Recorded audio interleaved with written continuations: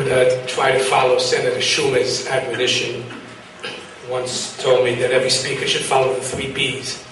He should be truthful, he should be brief, and he should be seated. So, just in terms of the brief outline, in terms of the question that uh, you know you posed, it's interesting to note that the Rambam puts the laws of kashrus, machalos asuras, and hilchos in his volume kedusha, and including that is also isur forbidden sexual relationships, because we believe that through observing the ritual of kashrus and all the other laws related to it, we attain a certain level of kedusha, and that's a function of discipline and purpose.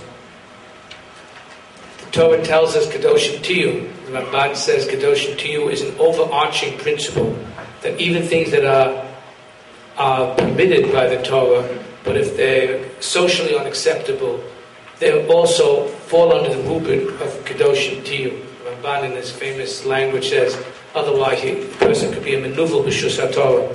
He could be an abhorrent person with the sanction of the Torah. So it goes without saying that the Kedusha represented, with the Ram puts Shechita and so on, Hilchas Kedusha, and the Kedusha Kedoshim can't be seven. That doesn't mean to say that they're exactly the same category.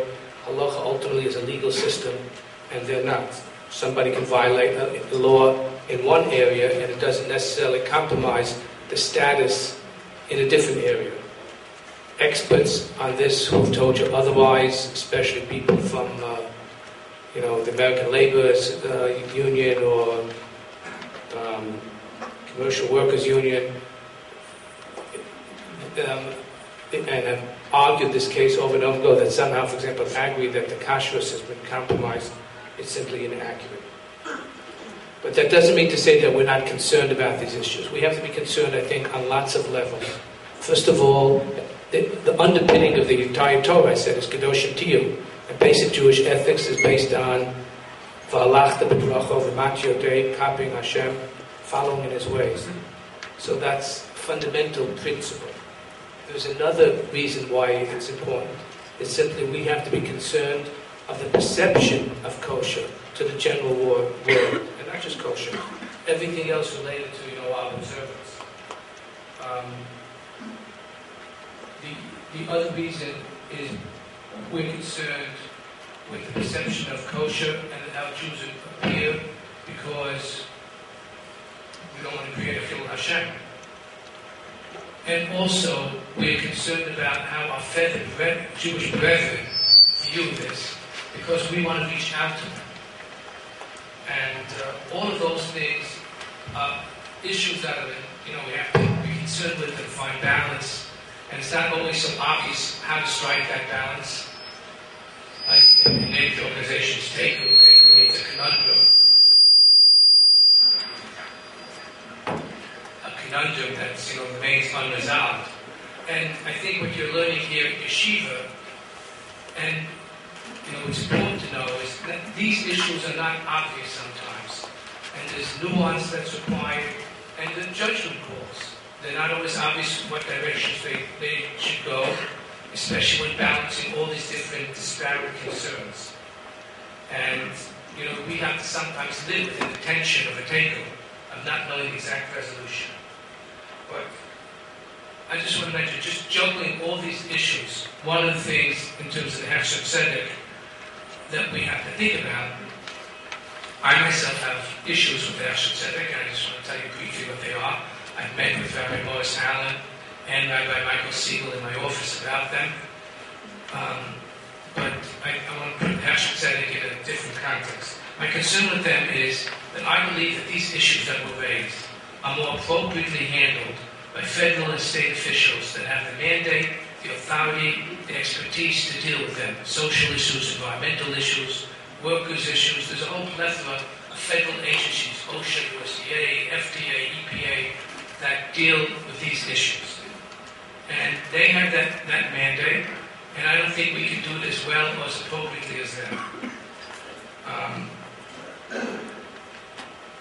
and some of the, and I, what I've told people in AstraZeneca, I think the definition of some of the standards that they're going to try, and, and, and I say this well-meaningly, to reach are going to be difficult.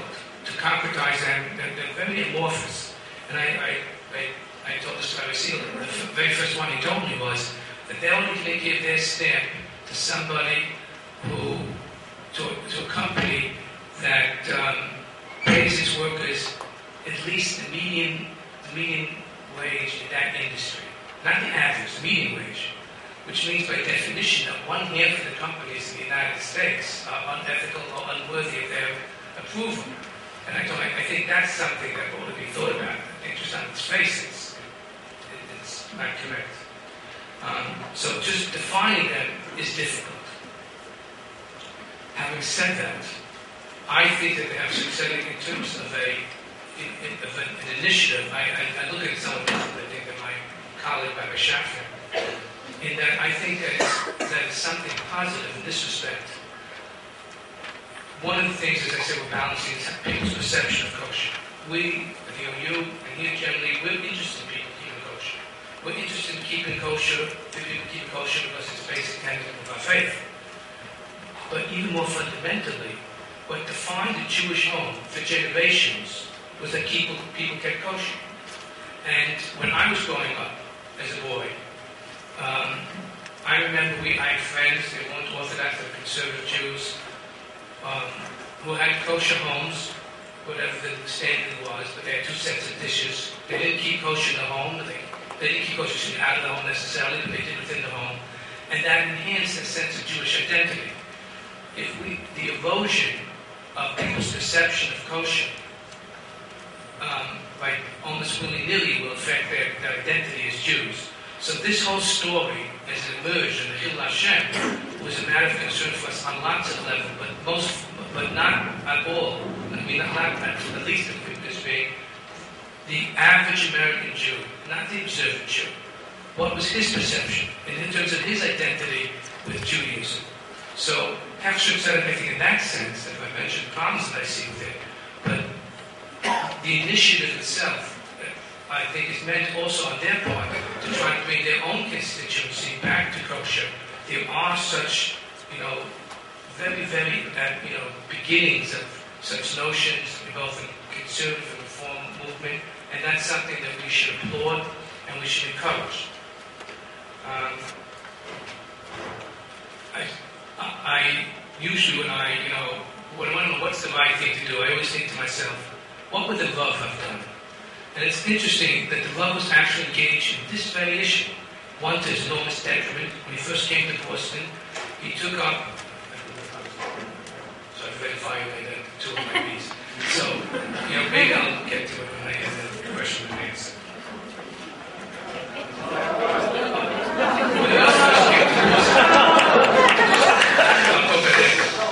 When he first came to Boston, he was standards of kashrus in Boston and also the treatment of the shochtim. That he thought that they were working very long hours, were being you know, just abusive hours, and he took a stand about it. And it, it cost him enormously because there the, the different forces within Boston, I have to say the various forces, that you know, claims against him, absolutely false claims that uh, you know, they somehow undertake in terms of the kashrus. This went to the Attorney General of Massachusetts. At the end, after the investigation, what was discovered was that the loan was paid people out of his pocket. Um, and I think the judge said he never met a man as honest as the above. But the, the, the, point I made was this was a matter, he was the greatest genius of his time. This was this was his concern, and he paid very dearly for it. Actually changed his whole, I think, his notion in terms of leadership subsequently. The other thing about the above, which I'm going to speak about the questions, was about the creation of a pen and how do we respond to this kind of question. But I'll leave that for that.